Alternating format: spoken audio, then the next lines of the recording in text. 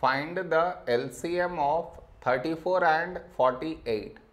To find the LCM, first we should frame it in this way. 34 comma 48. This is your step 1. Now you should focus on to the first number which is 34 here. For this number last digit 4 even so take 2. First number 3 a number close to 3 in 2 table is 2 ones 2. 3 minus 2 1 1 carried forward 14. When do we get 14 in 2 table? 2 sevens 14. The other number 48 last digit 8 even so this is divisible by 2. First number 4 when do we get 4 in 2 table? 2 2's 4.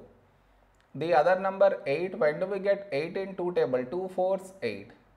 Now here we have 17. 17 is a prime number so 17 ones 17.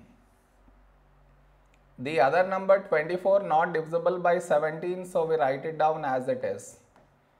Now we got 1 here so focus on to the other number 24.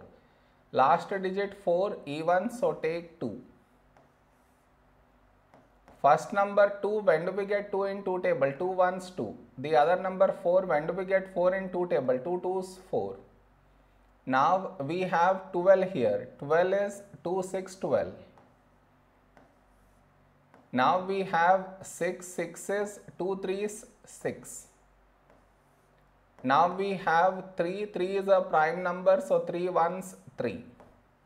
So we got 1 in both the places. So our LCM is, LCM is the product of these numbers. That is 2 into 17 into 2 into 2 into 2 into 3. When we multiply these numbers, we get 816 is our LCM.